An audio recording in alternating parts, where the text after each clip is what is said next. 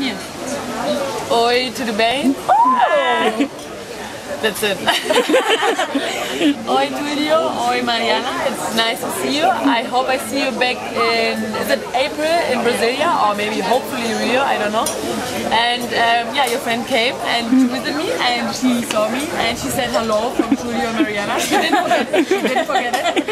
also in London she said it already. No, and I hope um, to see you next year. Kisses. Bijou, bijou. Thank you.